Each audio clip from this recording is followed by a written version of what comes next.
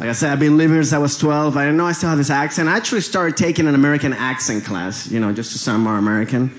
And uh, in the class, they tell me that I have to enunciate every word. And uh, the other day, I got pulled over by a cop, so I was like, all right, I'm gonna use my American accent, you know. So I'm sitting in my car, and the cop comes over to my window, and I'm like, "Hello, officer. What seems to be the problem?"